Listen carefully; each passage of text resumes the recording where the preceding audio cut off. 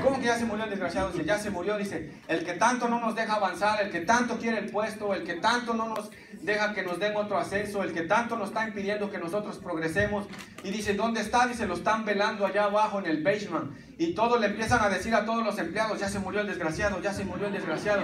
Y a todos les iban diciendo, a todos, dicen, vamos a verlo. Y todos fueron a verlo abajo en el basement. Todos corrieron a verlo y estaba ahí el, el, el, ataúd, estaban los sirios y todo.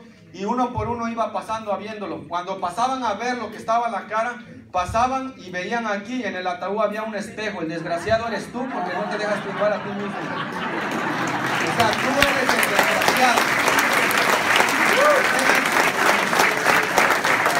Tú no aprendes a confiar en ti mismo tú no aprendes a desarrollarte en ti mismo, tú mismo vas a boicotear tu éxito.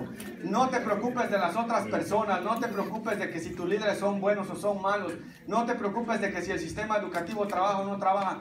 Eh, preocúpate más por creer en ti, preocúpate más por avanzar en tu conocimiento, en tu capacitación, en tu entrenamiento. Vete a la convención, la convención va a ser algo que va a ser, o sea, va a cambiar tu vida. ¿Quiénes ya van a ir para la convención? Levanten la mano. la convención. Los que no levantaron la mano, yo no te voy a pedir que la levantes. Yo no acostumbro a nadie a convencer a nadie.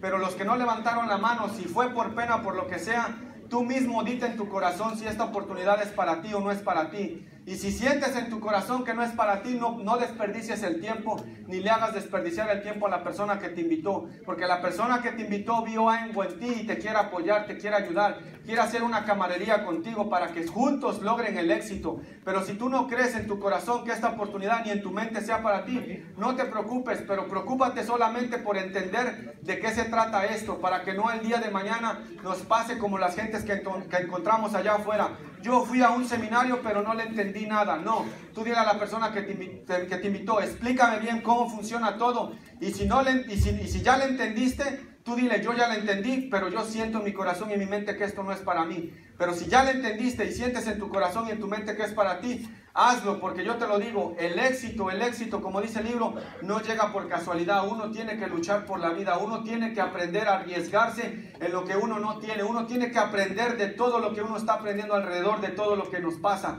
Y si tú no luchas por tus sueños, tarde o temprano la vida o Dios o lo que sea, la, la electricidad o en lo que tú quieras, te va a pasar factura. Pero tú lo más importante, enfócate en lo que tú quieres y lucha y nunca, nunca, nunca te rindas hasta que logres tu sueño. Quédate aquí, pero nunca, nunca, nunca te rindas. Buenas tardes, nos vemos en el Gracias.